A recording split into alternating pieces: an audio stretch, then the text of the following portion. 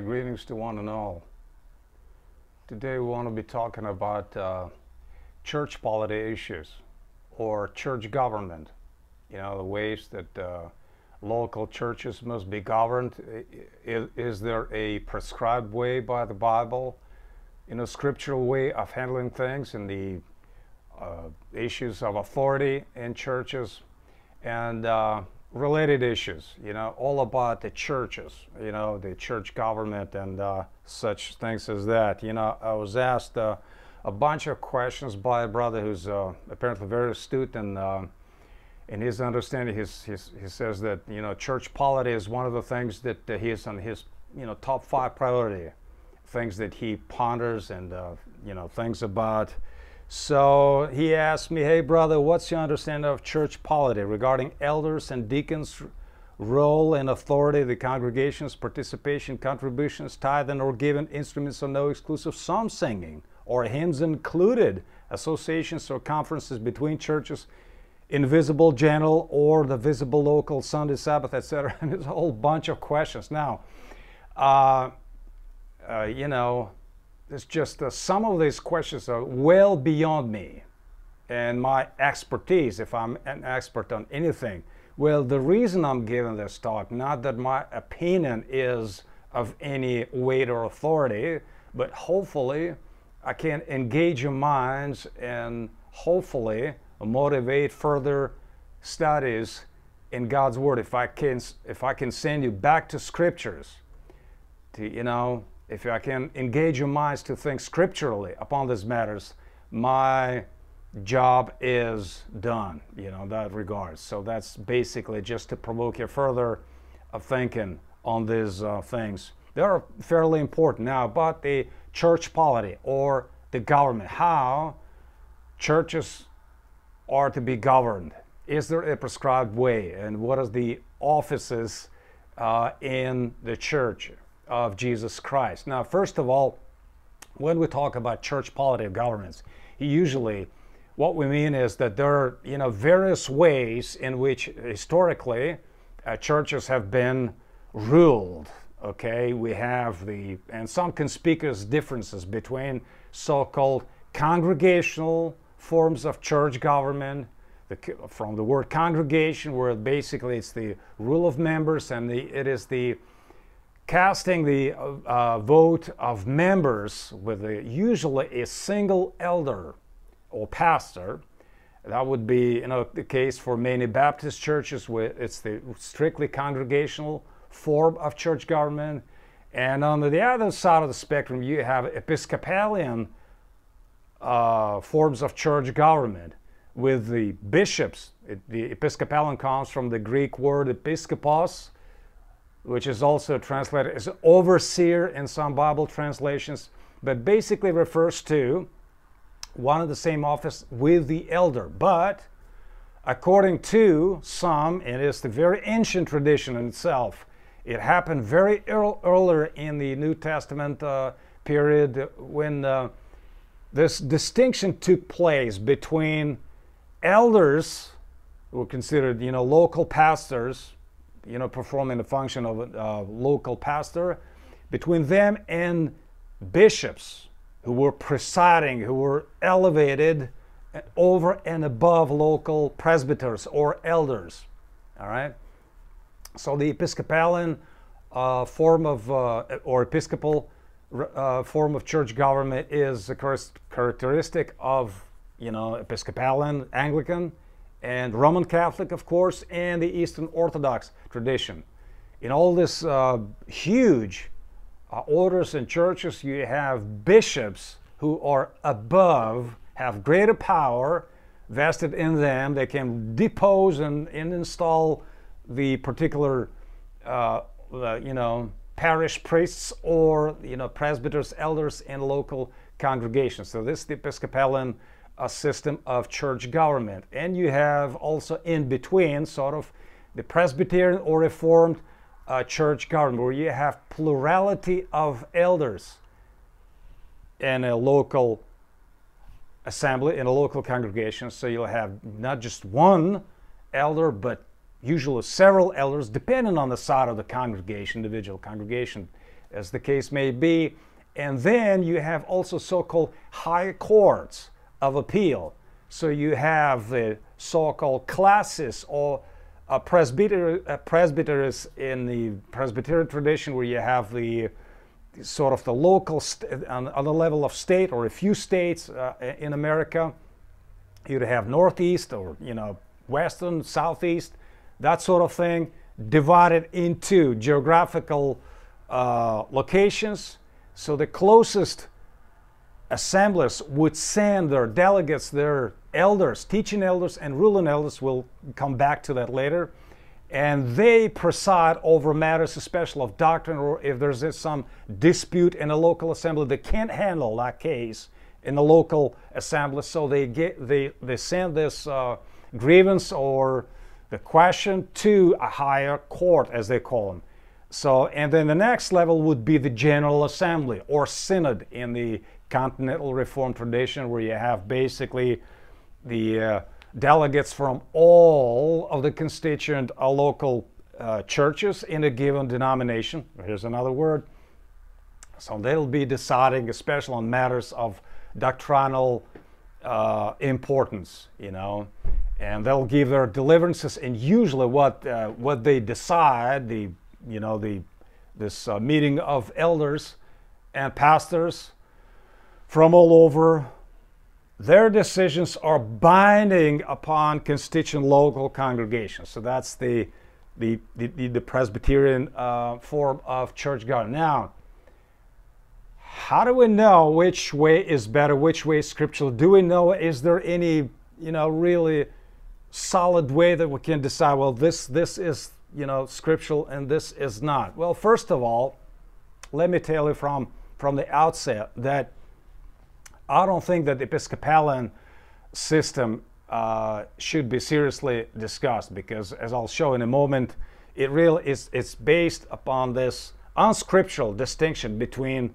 the so-called, uh, I mean, the bishops and elders as different offices. But uh, as we'll see, I'll read to you from uh, Titus. Now, the main portions of the Bible which deal with the offices, and there are offices in the Church of Jesus Christ, or you know, service figures, or elders.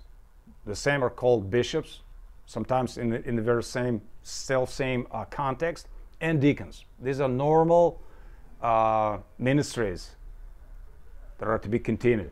Now, God gave first some apostles, some prophets, and then pastors and teachers, as he says in Ephesians. Some of the offices are no longer here because they have served their purpose and the church is now being built upon the foundation laid by the apostles and prophets as Ephesians 2:20 makes it clear. So we don't have any apostles today or prophets because they've they've been gone. There's no need. The apostles were qualified to be so uh, because they were witnesses, especially of Christ's resurrection. Now let me let me uh, show you something that I encountered this morning as I was uh, doing my just regular Bible reading and I, I, encountered something that I never saw before. So I wanted to share that with you because it kind of it has some connection to this whole topic of church government and, and such things as that. Remember, this is uh, in um, Acts 1. The apostles are dealing with the departure of Judas and they're saying, look, we got to find somebody to replace Judas who went to his own place.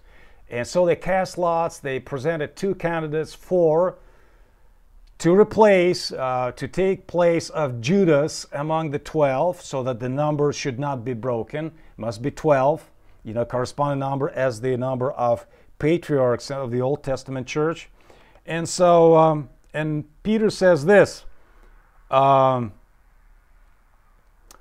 he says, starting from verse uh, 21 Wherefore, of these men which have accompanied with us all the time that the Lord Jesus went in and out among us, beginning from the baptism of John unto the same day that he was taken up from us, must one be ordained to be a witness with us of his resurrection. So we see here the qualifications for the apostles. The apostle must be somebody who witnessed, especially the resurrection of Jesus, who was there. So, and uh, that's no, that applies no longer to anybody uh, today. So, and they appointed two. Joseph called uh, Barsabbas, it was surnamed Justus, and Matthias. And they prayed and said, Thou, Lord, which knowest the hearts of all men, shew whether these two thou hast chosen, that he may take part of this ministry and apostleship from which Judas by transgression fell, that he might go to his own place. And they gave forth their lots, so they, they, they cast in lots, and the lot fell upon Matthias, and he was numbered with the eleven apostles. Now, we're not going to comment on the custom of casting lots and deciding, you know, which candidates and so forth, because there's also a whole debate whether or not this this is a normal practice to be implemented in churches. You know, we're not going to touch on that. No, we're going to talk much about the whole situation. I mean, you understand what's what's going on in general, but what drew my attention was that this guy, there was two guys, that the first one was Joseph called Barsabbas, who was surnamed Justus. Now, Justus is Latin, you know, Justus, which means just. So basically, and the same thing in English. So Justus means that this person had a surname, surname or reputation for being a just guy. So that was sort of his nickname, a just. Okay, this Joseph was called Justus. All right. So particularly, there was something about it. Now, the Bible does not spell for us in what way, but uh, we may legitimately surmise that this guy was an upright man, that he had a reputation of being a just, a righteous person. Now, you and I both know that there, there is no other righteousness but from the source of righteousness, the true source, which is Jesus Christ, that there is none righteous, no, not one. So, whatever else the Bible means by calling this person Justus, it must mean that this person was truly justified, that he was a believer. But apparently, his behavior, his reputation, his general demeanor was such that he was known, well known, so that people would call him Justus. Okay, this guy is so upright in all of his behavior and his conversation that uh, they call him just. All right. And it's interesting. So he was presented in Matthias. Now, the second guy we know virtually nothing about apart from his name. He's, he's mentioned basically just only here in uh, Acts 1, and then we don't hear of him at all. But but the point is, and so they are casting lots that they're praying, Oh Lord, thou knows the hearts of all men, show us which one thou hast chosen for this ministry, and so on. And the, the lot fell upon Matthias. So God chose the second guy, of whom we know virtually nothing, whereas the Justus was passed over. Now, it kind of occurred to me, uh, th- this must be significant. Now, we can't build too much upon it, but one thing is certain that nothing is uh, of no significance in the Bible. If the Bible mentions the fact that the guy was surnamed Justus, there must be something upright about him, that he was eminently upright in his uh, conversation, in his demeanor, and so on. So he was known for his, and that's a good thing that he was upright. But but the point is that God chose otherwise, and that ought to teach us something that God's ways are not our ways that perhaps, as I was thinking this morning on this passage, that maybe God thought, boy, this, you know, uprightness of this guy may stand in the way, might, might give the impression if we select this guy, if I chose him for the job, then also, oh, well, you know, that is understood because the guy was so upright because of his imminent righteousness, he was selected. See, God chose otherwise.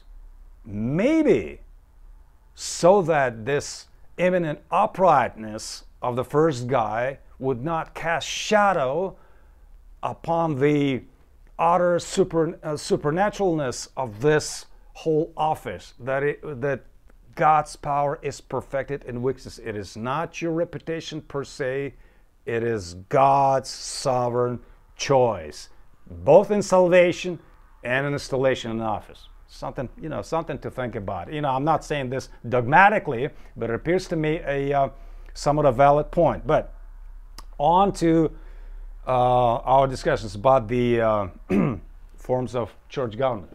Excuse me. I got dry.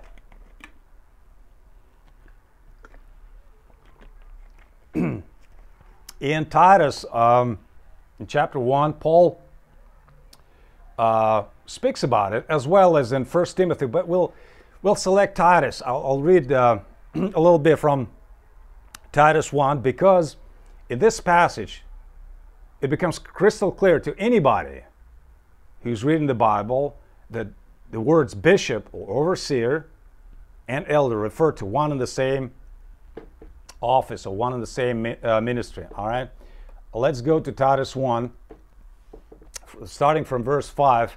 Paul says, For this cause I left thee in Crete, that thou shouldest set in order the things that are wanting and ordain elders, excuse me, in every city as I had appointed thee.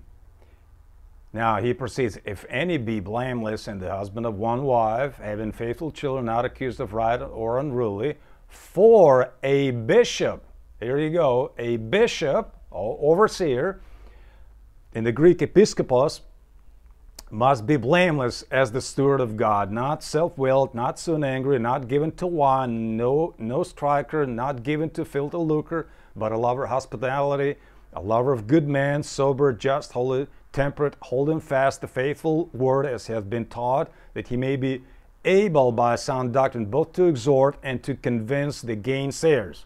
This is Titus 1, 5, verses 5 through 9. Now here, it is, you know, again, it is just beyond the shadow of the doubt that uh, bishop and elder the same thing, because first he says, now, I... Uh, you know, I left in Crete that thou shouldest set in, in, order the things that are wanting and ordain elders in every city. And then he proceeds, a bishop must be this and this. So it is one of the same thing. So elder, it, it refers more, this is more of a Jewish custom.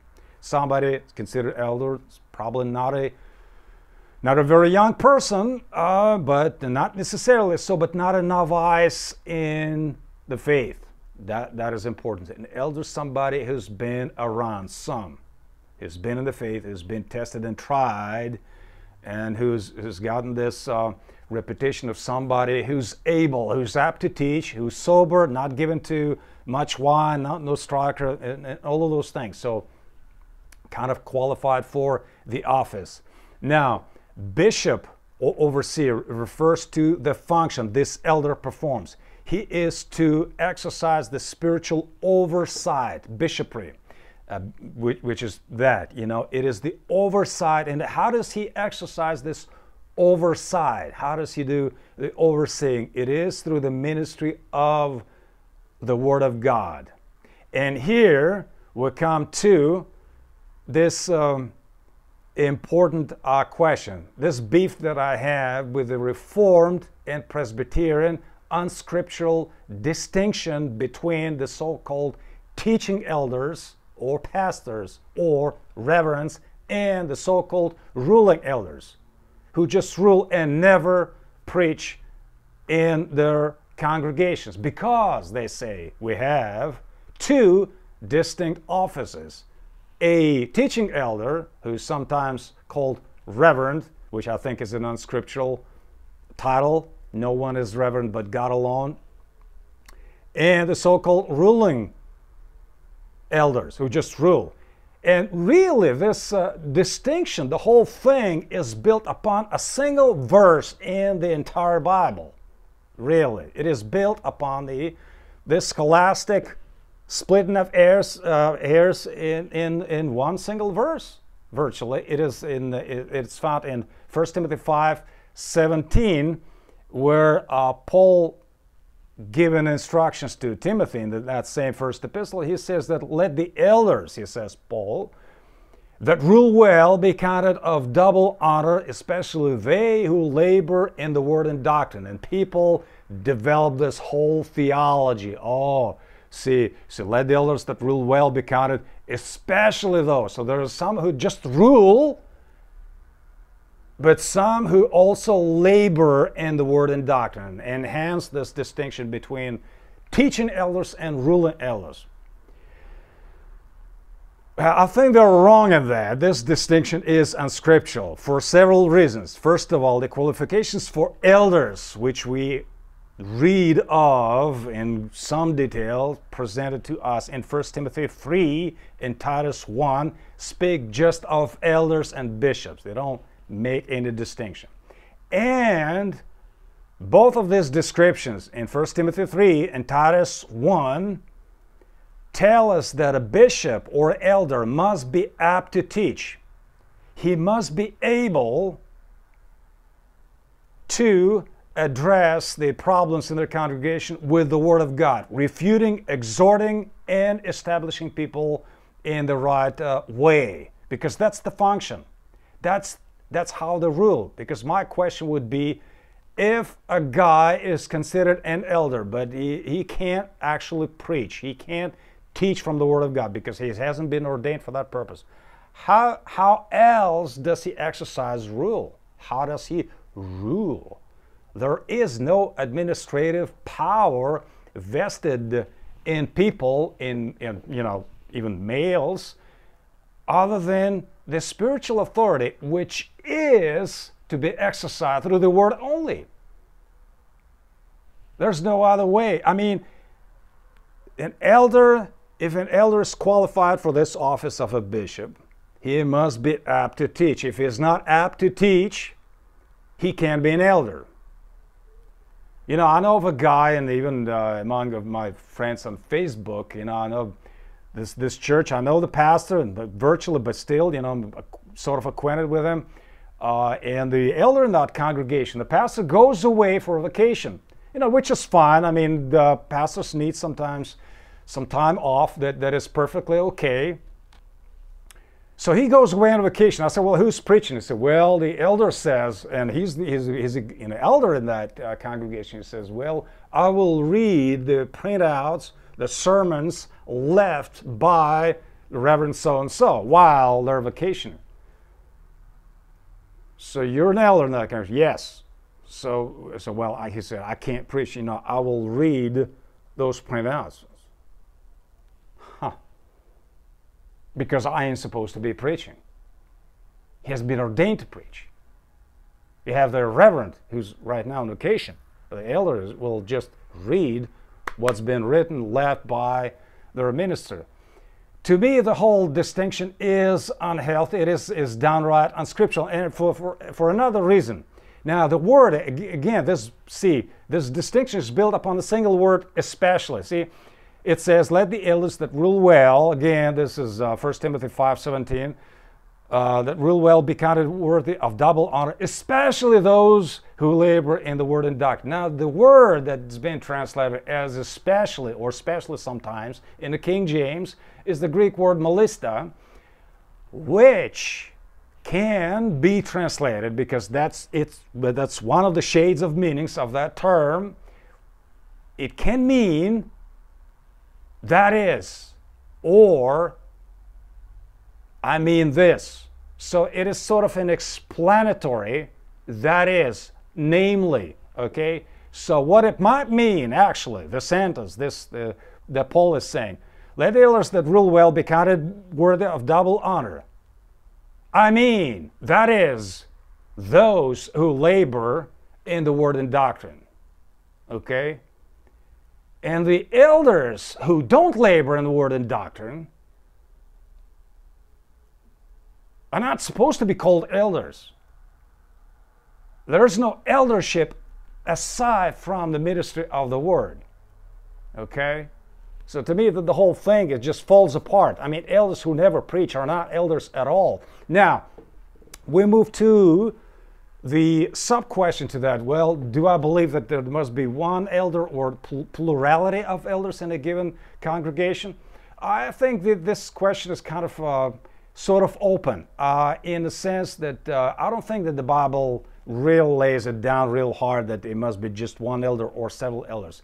It suggests that in early church, in, in some congregations, there were several elders, like in the church at Antioch, which would send Paul and Barnabas. There were apparently several people functioning as elders and overseers, and elders and overseers among you. So, yeah, but by the same token, in Titus 1, we see that uh, I left thee in Crete for this purpose, that, that I might ordain uh, elders in every city. So that, that might be suggestive. Otherwise, that is just in a given uh, little, you know, again, city, that's probably just towns, little villages, just, you know, whatever that place, uh, one congregation, maybe just one elder. Also, in the book of Revelation, in chapters 2 and 3, where we see the letters written to angel of the church of Ephesus, the angel of the church of Smyrna, and so forth, the different places in, in Asia Minor, we see those angels. Now, most sound Bible commentators and theologians agree that by those angels, and the, the, book of Revelation is highly symbolic, it's highly spiritual and apocalyptic in nature and all of that, with all these images, so the angels represent just ministers, okay? Not angelic beings per se, because the Greek word angelos means the one that is a messenger, okay? So the messenger, to the messenger at Ephesus, write this.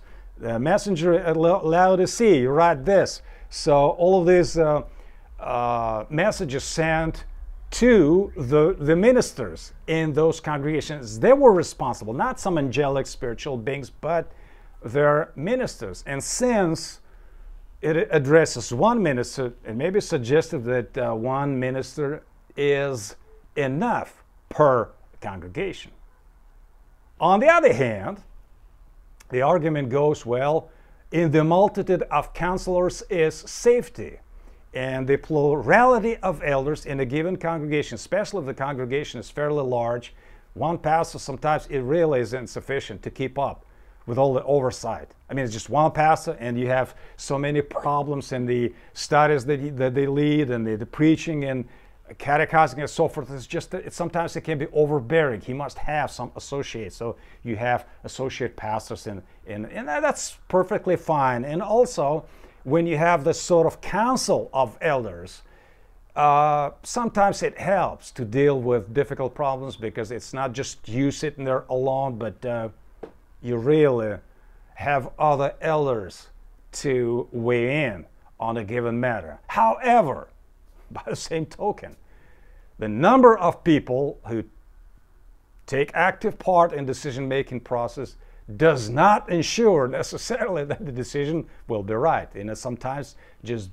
big, you know, uh, uh, gatherings of people, nevertheless, voted wrong and they, they just uh, give wrong verdicts and so forth. I mean, take the history of the church. Sometimes it's just the huge numbers of people uh, took wrong sides, and sometimes it's the lone individuals who stood against a whole uh, great number of people voting otherwise or thinking otherwise. So again, it's just not the majority opinion that ensures the orthodoxy of a given decision. So it is kind of you know, I can't I can't be more dogmatic. I don't I don't have a problem with, you know, several elders or just in one elder. I don't think it, it is all that important.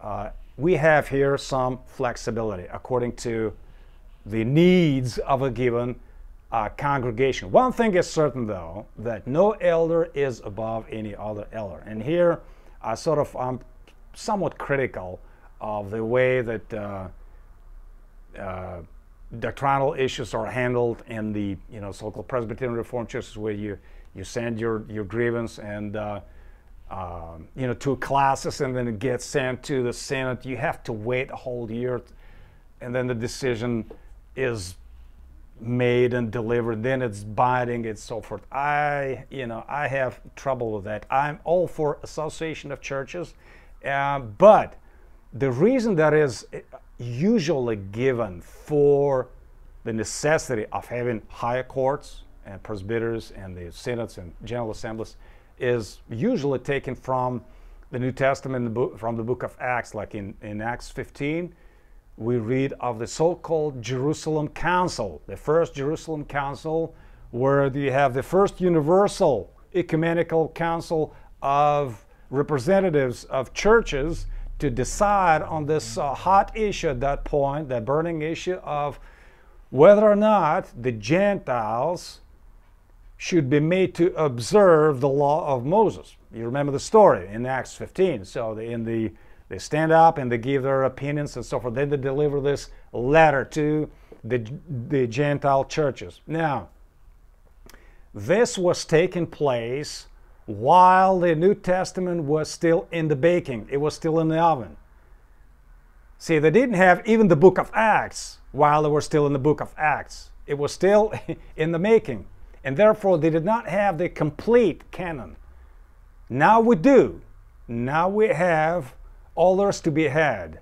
Therefore, in my opinion, again, you know, I may be wrong. People say, well, look, sometimes or not, we have ethical demands that were not encountered by earlier generations of believers. So we must tackle them so that it takes a collective wisdom of elders. For, for instance, using uh, medications which uh, uh, to develop which they've used the stem cells and so forth. Some ethical, sometimes difficult, knotty issues and so forth. It takes the collective wisdom.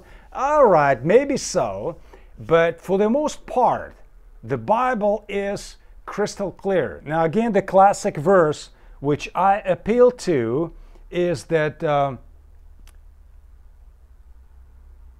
Paul does not seem to be suggesting that it is a normal rule or you know for saint practice and churches that boy if you have a problem that you can't really solve in a local congregation you got to have a general assembly. He doesn't say that anywhere. Uh, moreover, uh, if we if we go to uh, if we go to uh, the most famous uh, verse in um, let's find it okay in the second timothy uh, chapter 3 verses 16 and 17 let me go there for for a second. Yeah. Okay, that's the the famous verse that we have all scriptures given by inspiration of God all scriptures given by inspiration of God and is profitable for doctrine, for reproof, for correction, for instruction in righteousness. All scriptures given by that by God, that the man of God may be perfect, thoroughly furnished unto all good works. Okay? So the implication is that the man of God, in the context, of course, it refers to all believers, by, by you know, but centrally, the man of God in the context is some somebody who's put in charge. Okay, the medic, especially those who's teaching. Okay, so he may be he is equipped. The the word perfect means complete, equipped enough, sufficiently uh, supplied. So supply is there. We have the whole canon of Scripture now complete.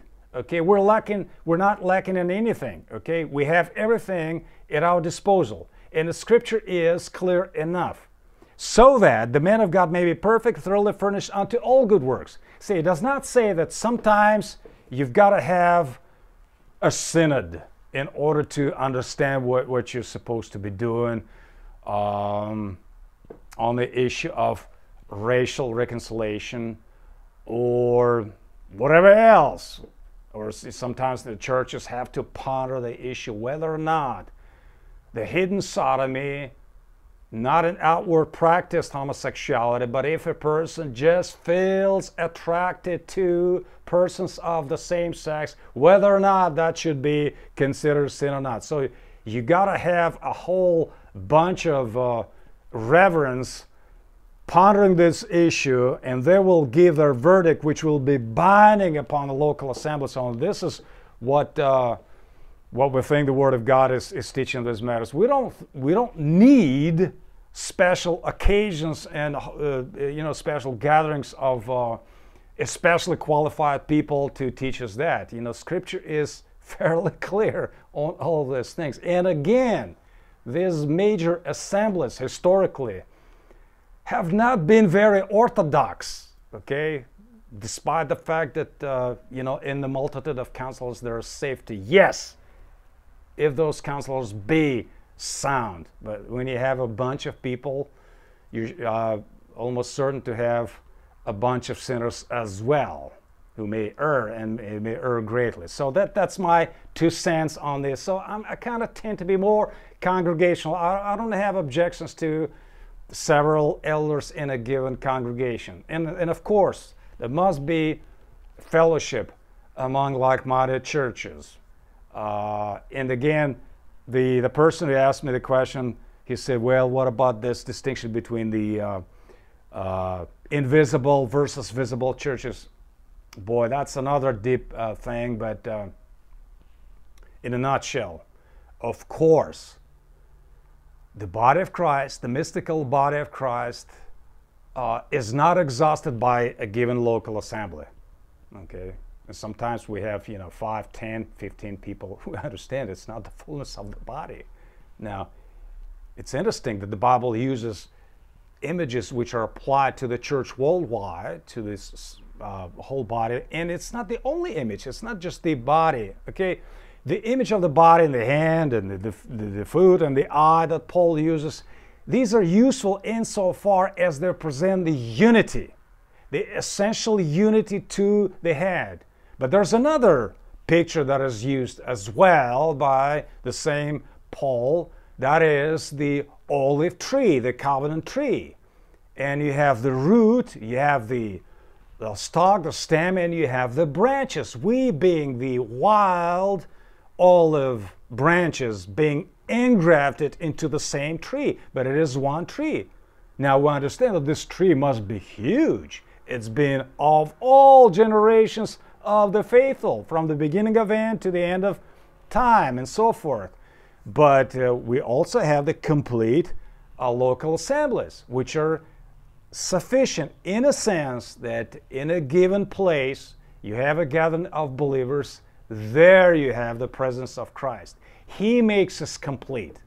It's not that the local assembly is so self sufficient that it needs no other fellowship with nobody else because we're boy, we're just a complete. But no, what it means is that yes, you have the organism here and you have the Christ who supplies all that is needed. In, in scriptures, we have the fullness of all that we need for faith and practice, but it doesn't mean that we need no fellowship with other like minded churches. And here you have the uh, the problem of having creeds. And that's another issue that the creeds are helpful as a shorthand of presenting your views because otherwise, how do you know which church to relate to? You've got to have, uh, you know, some things verbalized. This is what we believe concerning man, God, salvation, sin, Christ, and such things as that. So, they're not to replace the Bible, they're not over the Bible, they're not sufficient in themselves, they're just shorthand so that every time you don't have to invite the bicycle, you can say, okay, this is the statement that we, we subscribe to. But that's, uh, you know, it has some pitfalls because no confession, no confession whatsoever is 100% bulletproof, orthodox in all points, in every jot and tittle all of the writings of man have weaknesses, and we're not to subscribe under any of those documents wholeheartedly because we might encounter something that will bother our consciences. And it is not good to go against your own uh, conscience.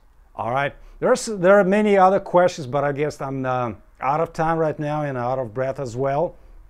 But I uh, wanted to just uh, start this conversation just to uh, provoke you further reading in scriptures on, on all those uh, things so that you might have an educated uh, opinion on these matters. May this all be useful by way of sending back to scriptures unto the praise of the glory of his grace given in the beloved. Amen.